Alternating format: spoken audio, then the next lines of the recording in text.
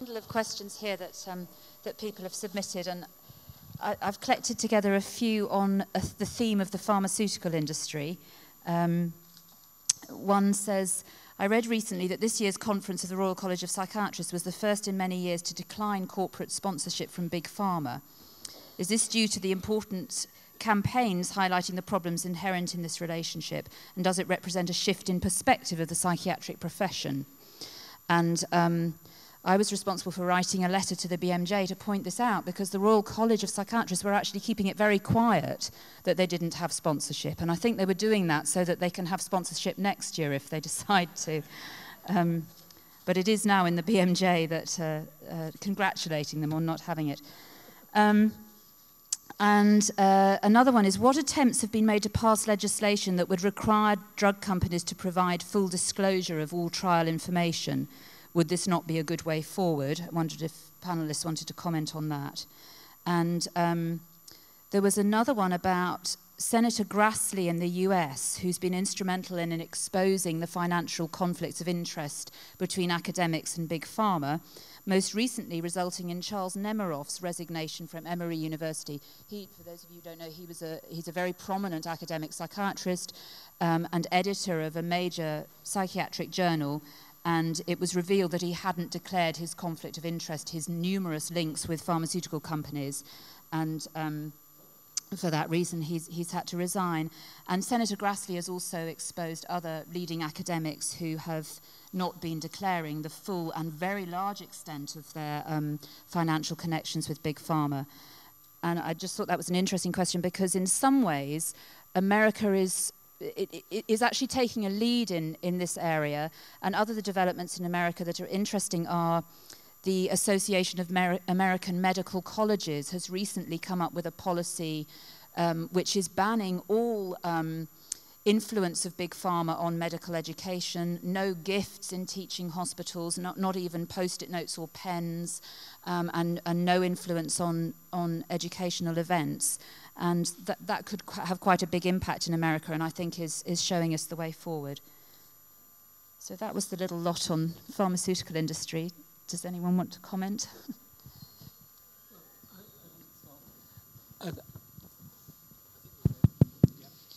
The the point about uh, identifying the people who receive mega support from industry money, uh, the academic re uh, reps, that will be, that is coming more into the open. The point about hiding data, uh, the MHRA has said it will stop that. It will make rules that made that illegal and uh, they would pursue people who hide data. I think those are the two things I can answer easily. There were, there were other people over here, David, um, and, and, Charles, you wanted to make a comment? Um, publication of clinical trials. Um, it only happened by accident, um, but it is happening, and I suppose it represents a degree of, process, uh, of progress. The reason for secrecy, in my experience, is not to hide the information that the secret keepers have. It's actually to um, disguise or, or not to indicate how much they don't know. Um, but the danger is when you release, you know, all the data in all, all the, uh, in all the detail, uh, that it is going to take years and years to wade through it. What you actually want to happen is to know that anything to do with a clinical trial, and that certainly includes conflict of interest, is going to be made available so that the people involved in the, in the clinical trial are required in their own interests to observe a high degree of accountability. That's exactly the same with policy making in governments and why you don't, you know, why you want freedom of information. It's not so that you, if you're a you know desk bound like me, can have more paper on your desk. It's so that you know that the people making the decisions um, are going to be subject to the discipline of, of, of public exposure. So it puts them under an, uh, under some obligation to put them right. Ivan Ilyich said, and I'm switching slightly. He said America was Americans were usually the first to jump onto bandwagons, but also he said, to be fair, usually the first to jump off. The conflicts of interest in the American psychiatric establishment have been shameful absolutely disgraceful. And I've no doubt that there is an element of that here. And I just hope we jump off the bandwagon as soon as, uh, or as quickly as Senator Grassley is making things happen there. I first came across this, a disclosure by a professor at Brown University, uh, not because he disclosed the 400K he, he was making each year from the pharmaceutical companies and not disclosing, but because the Boston Globe picked up a divorce settlement where his wife asked for all, for all details of, of his, uh, of his earnings, and this is what transpired. Charles, um, with respect, you know, uh, I think you're great and wonderful, and all you say is right. Great and wonderful, and all you say is right, but I do want to take issue with uh, a bit of what you said. Far be it from me to um, support Charlie Nemeroff, but I think conflict of interest in this domain is a little bit of a red herring. The pharmaceutical industry are probably awfully happy to see what Senator Grassley's doing because it makes the problem look like a few rotten apples in the barrel when the problem is the barrel, it's the system. And the key thing to that is access to the data. The companies market the drugs back to us under the banner of science. The norms and ethics of science are that we have access to the data on which claims are made. When people these days make a claim for a gene that they've just found and they want to publish in Nature or perhaps Science, they're required to post the sequence on the web. In just the same way, the pharmaceutical companies can be required to make the data available to all of us. And there's a few good reasons why they ought to. First of all, it's people like us, people in, in this room that get involved in the clinical trials that bring the drugs onto uh, the market. We take risks with these drugs that are new and risky, most of which don't end up on the market because they are too risky. We run those risks. We are injured. We do this for free. We do it for free in the hope that our wives and our husbands and our children and the communities from which we come will gain in the process.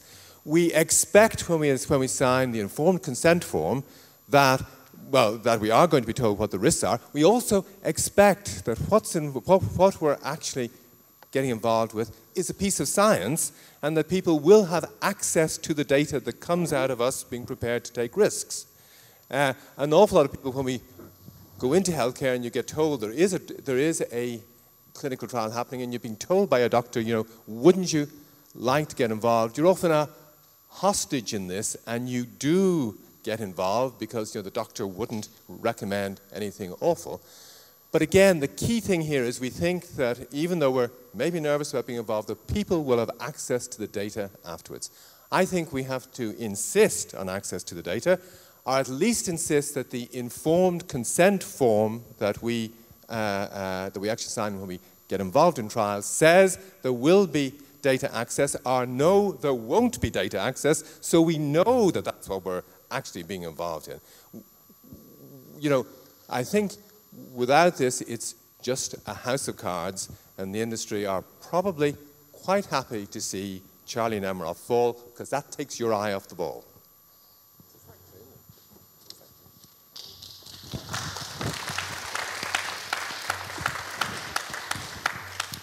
Uh, sorry, I wanted to come back, N not only to say how wonderful I honestly think David is, uh, and always have done, and how right he was on this, but also to mention, a, uh, I mean, just to refine what I said about uh, manageable data.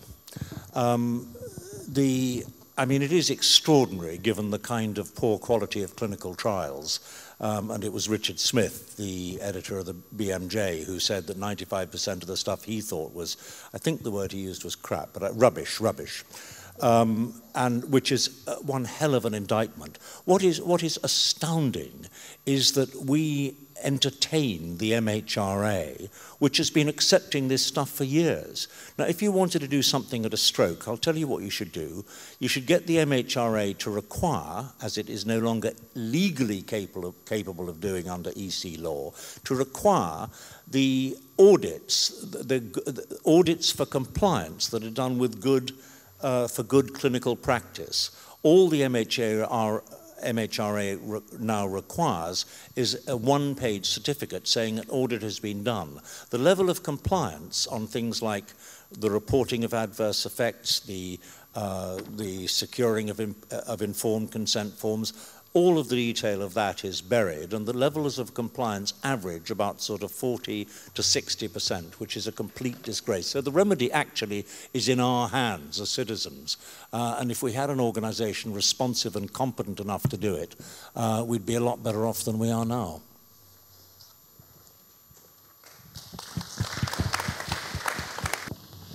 What use will be made of the huge volume of evidence on adverse reaction, adverse events given to the Health Select Committee for their inquiry? Uh, on the in influence of pharmaceutical industry, some 500 plus pages of evidence in small print and other evidence.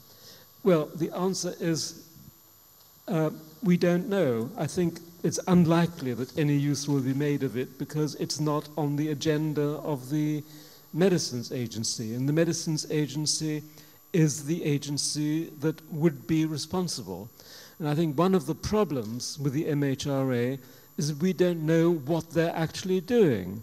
They don't publish uh, how they actually assess the adverse effects or the reports. We know that the sections dealing with adverse effects are much smaller than those that are evaluating license applications. The budget is smaller.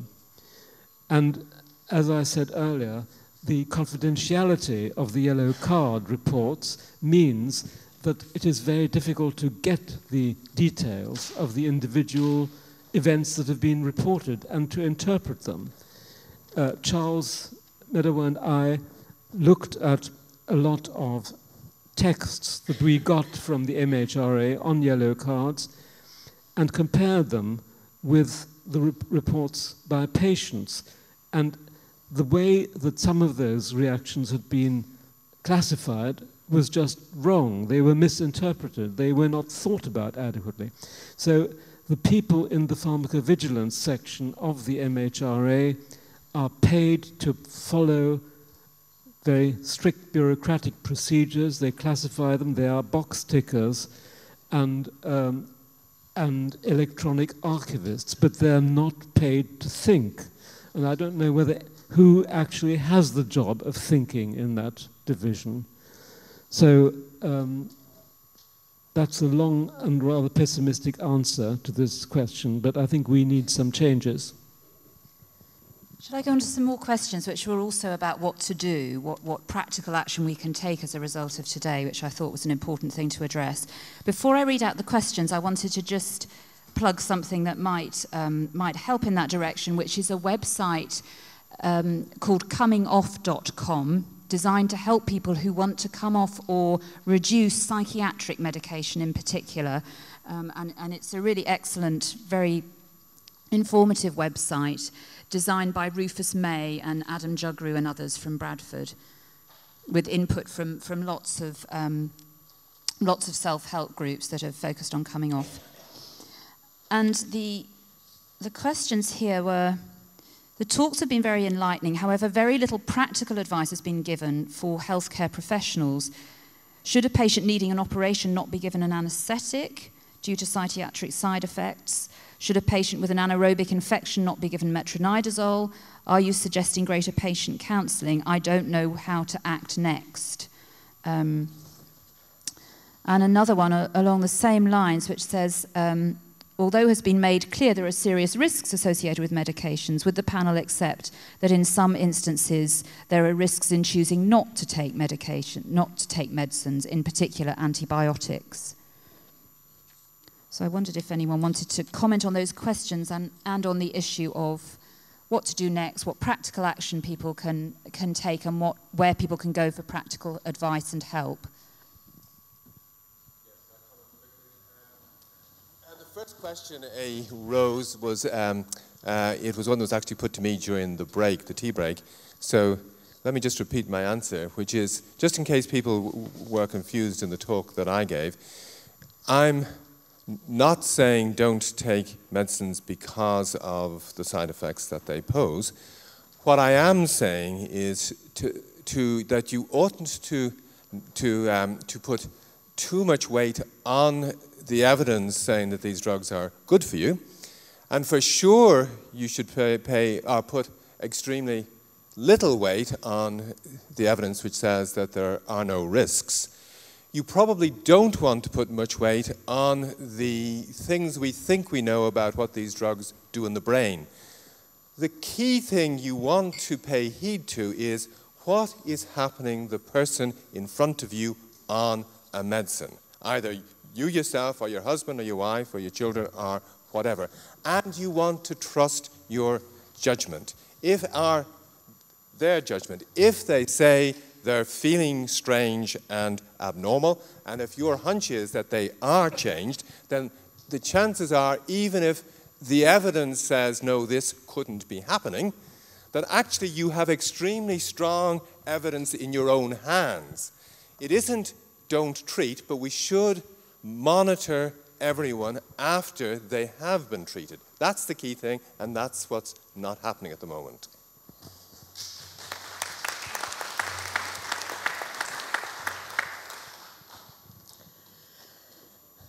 With regard to adverse drug reactions and anaesthetics, we've now identified that at least a couple of drugs have psychiatric uh, hazard signals. And I think it's important that we collect as much information as we can, um, not just retrospectively, but prospectively um, and collect the right information. I think we've identified the limitations of the present system and we want that really to work for the patient benefit overall. So, uh, but talking about the individual patient and what you do if you're going to have an anaesthetic, I find that patients' faces just light up when I say to you, what drugs do you find work best for your pain? and they will say, well, nobody's ever asked me that question before. But I think patients know what drugs work for them.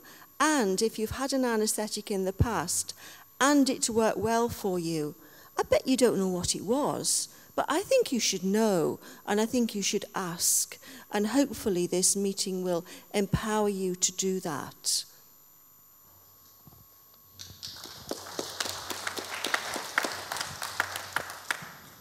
I'm afraid the cruel truth is that every single medicine which is out there has adverse effects, and almost probably every single medicine has killed somebody at some stage in some way or, or another. And I think you therefore are left having to make a judgment based on previous experience, whether it's anecdote or, or whether it's actually sort of more reliable, at least statistically, um, concerned. But my advice to the person that asked the question would be if you're faced with that dilemma, you should empower yourself by doing as much reading around it yourself, but you should then go to somebody that you trust, both to know a lot about the answer to that question and also to treat you in a caring and compassionate way. And clearly, as a member of the medical profession, I would hope that very often that person will be your doctor.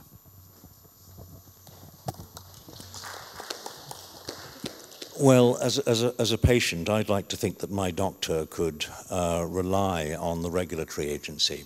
Uh, sorry to bang on about this, but I, I, uh, I wrote a 20,000 word monograph in 1997, uh, which I sent to the MHRA saying there is going to be a real problem with withdrawal from antidepressants. Um, four inquiries, and uh, five years later, they finally grudgingly uh, sort of admitted this. Now, what happened in the meantime, and why did they resist in their inquiries? It's because their philosophy is we are scientists.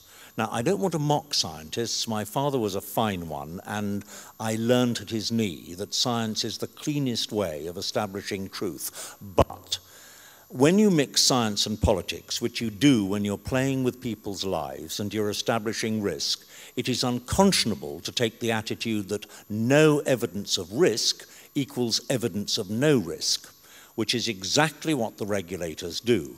And it is a madness. Uh, they're basically saying, show us the bodies and then we might believe you. And it's too late then, as Andrew said. You know, where on earth is somebody thinking? And they're not. So you get these dreadful clashes between common sense and science.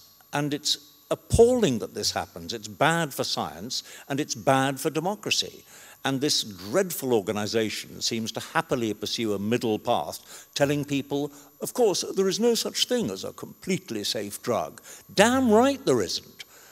I mean, what we know about the drugs that we use um, is that, you know, probably there is, you know, the risks you run are, are, are formidable. Let me just give you another example with antidepressants, because it still happens.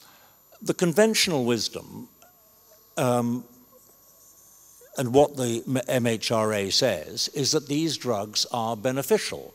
uh, these drugs, you know, the benefit outweighs the harm. Now, what the only thing they are entitled to say on an evidence-based basis is that about one person in 10 may well benefit from exposure to these drugs. Uh, and what they should be adding is that probably of the order of two men uh, will, suffer, uh, will suffer some sort of bad reaction. Uh, and that the vast majority would do just as well with or without the drug. But because they are legally charged to define drugs as either safe and acceptable or not, once the drug has, has sort of jumped through their hoops, so to speak, frequently, and certainly in the case of antidepressants, on the basis of such ropey data, I would delight in teaching my you know, young teenage granddaughter how idiotic they had been. They then license it and let it go and say it is safe. And then they have the gall to say that to treat somebody with a placebo or with a subtherapeutic dose is unethical. Beats me. And I just wanted to add very quickly to Charles that I, I agree. I, there seems to be an assumption that drugs are beneficial unless they're proved to be harmful. And it seems to me that the assumption should be changed the other way around. We should assume that they're harmful unless we can prove that they're not too harmful. Okay, so I'm, I'm really sorry. I know there were a lot of questions we didn't address, um, but I'm going to hand over to Andrew, who's going to make the closing remarks. Um, Andrew Herxheimer. Stand up here because then I've I feel more visible and audible.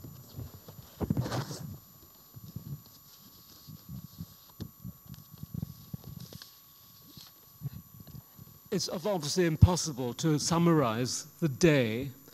I thought that since the title that Millie gave us, What's Our Responsibility, was really the key. And I thought the simplest thing would be to um, consider all the different actors in the medicines scene and see what each one's, each group's responsibilities are.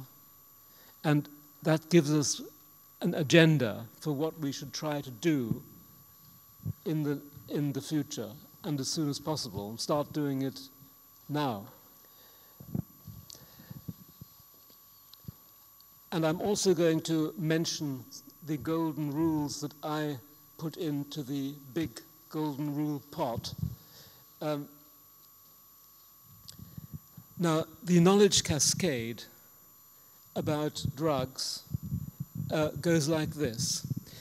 First of all, scientists, academic scientists and scientists in public bodies like the Medical Research Council and in industry, uh, they find relevant facts about the medicines.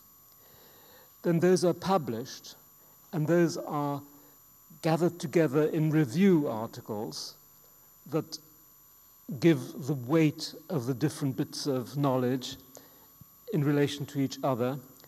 And then clinicians start to use that information in their practice.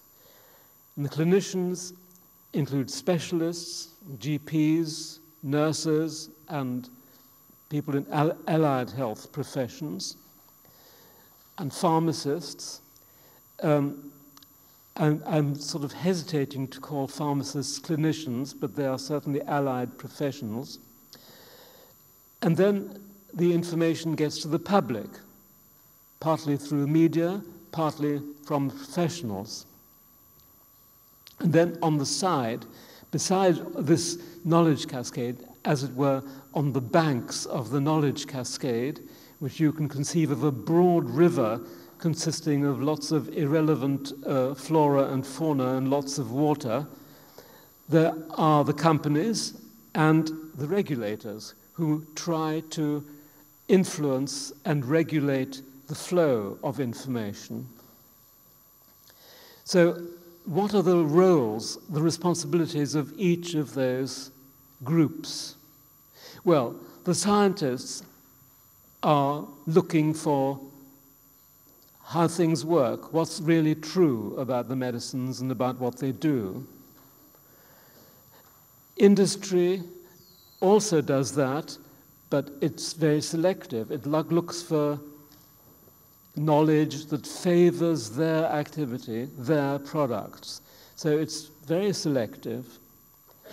Um, the clinicians uh, look for knowledge that will help them treat patients, and whether they're specialists or GPs. That really determines the area of their interest and their previous knowledge and how they construct their universe of personal knowledge.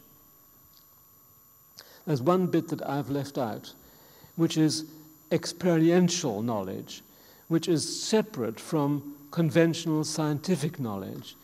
It is the knowledge that comes from seeing things happen with, in your own experience, whether you're a patient or whether you're a clinician or whether you're a, a spectator, a, a member of the family, etc. So, one of the things that we have to do, it's our responsibility collectively to make the scientific knowledge and the experiential knowledge of all these groups converge so that they, have, they can exist in the same universe. And this is the reason why adverse effects have been separate from the alleged benefits of medicines because they have the, as you've heard and repeated many times today, uh, stories of harms are not considered evidence by so called scientists in companies and regulation and so on. We have to break that barrier. We, that barrier has to disappear. Um, that also means that we have to actually collect the experience much, much more effectively than has been done so far. The fact that patients now, and carers can now report adverse effects on yellow cards is a step in that direction. But as I said earlier, uh, my fear is that the reports just end up in a big yellow hole. That's a variation on a black hole. Um, and that nothing meaningful emerges from that. That has got to be changed. We have to work out new methods of analyzing those effects and that hasn't been done. And we don't actually know what the best ways of analyzing them are. Actually, the uh, bit of um, research, the research methods, are the research methods of qualitative research, whereas those of the hard sciences, biology and um, uh, pharmacology and chemistry and so on, those are all quantitative sciences. qualitative research is looked down on and not understood by the majority of quantitative scientists. We have to change that. That'll take quite a long time, but we've got to start. And I think the adverse effects area is, and psychiatric effects especially, is a very could be a pioneering area for that kind of convergence. I think that is very much up the street of psychiatry and psychology. Well, that's one big, big chunk of responsibility. Um, when it comes to the clinicians and the specialists, the GPs and the nurses and the pharmacists, I think the, res the responsibility is to keep up to date and to get much better at listening to what people tell you about their experiences. We have to become much more sensitive and responsive to people's experiences, illness experiences and medicine experiences.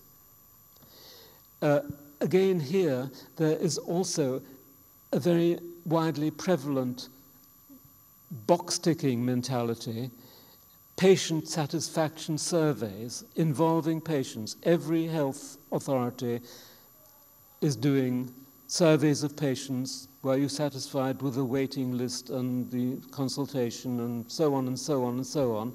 And these are closed questions. Satisfied, very satisfied, neither satisfied nor dissatisfied, dissatisfied, and then you tick that and you add it up and you give the, give the authority a score. That doesn't help mutual understanding at all because it, doesn't, it isn't clear what was satisfying and what was not satisfying, etc. We actually want what it felt like, what was it like, and what was good about it and what was not as good as it should have been. So all those things, that's a change in attitude needed all the way along, and that needs learn, means learning new methods, new ways of communicating. So, as far as regulators uh, go, I think we've said enough about regulators. There are many ways in which they need to improve, they need to become open and transparent, and they need to be responsive and they need to consider the public health instead of the uh, companies as their main customers, which is what happens now. So now I will turn to the, the golden rules that I'm proposing, which are really patient centered. Now, have, have you all got them? You've all got them in your folder, but you probably haven't had time to read them. So I will go through them very fast. Get to know as much as you can about the medicines that have helped you. This is echoing uh, uh, what was just said. Second, everybody is different and you must learn how your own body reacts to medicines. That's only you know that, and that's very important for anybody else who's going to treat you. Keep notes of your experiences with medicines, why you took it, how much, for how long, what happened, and when, how well it worked, and anything you didn't like. So that's a small diary, that's a piece of homework for everybody to do and for all the people in the family. Fourth rule unless you have a special reason, avoid medicines that are new. Stick to those about which a lot is known from many sources and which have been used for over 10 years. Bad news about a drug often takes years to emerge. Fifth rule before deciding to use a medicine, be clear whether it is to relieve a symptom, to cure a disease, such an, as an infection, to remedy some deficiency, for example, a vitamin, or to prevent something. We've had tremendous muddles about this. uh, when people take statins, they are usually given it to prevent something. But then the, sta the statin causes something which is here and now, which is bad. So it doesn't make sense at all to prevent something in the future um, if it's going to cause you some problem now. So needs straight thinking on that. Sixth rule think what you could do instead of using a medicine. For example, use a hot water bottle, go for a walk, have a comfortable bath, talk with a friend, take a rest. Those aren't on the menu normally. Seventh rule ask a doctor or pharmacist you trust how well the medicine works, what problems people have had with it, and what happened. You can also look up the drug on the internet and discuss what you find with somebody who understands it a bit better than you do. Then, eighth rule if something bad happens that you suspect might have been caused by a medicine, report it on a yellow card. And you can ask a doctor, pharmacist, or nurse to help you do that or do it for you. And then there's one I've added in the light of the discussion, which is when you have a, when you have a problem about an adverse effect or something difficult to discuss with your doctor, take someone with you to the consultation because four ears are better than two. And there are too many things to think about. And an independent uh, uh, opinion is well worth having. You can't, and, and it's too une unequal, the discussion. We need to diminish the distance in knowledge and experience between patients and doctors. So there has to be calm listening and also some help for bridging the gap in understanding. So I realize that not everybody may know what their responsibility is now. I'm sorry to interrupt yes. you. Um, just before everybody goes, Millie, I just want to say. Okay. Oh, can, can, can I just say very, very quickly, out of tragedy came this. And I just want to say a very personal, and I'm sure everybody here wants to say a big thank you for Millie for getting everything together. We owe her a tremendous amount. And thank you very much indeed. Thank you for everybody.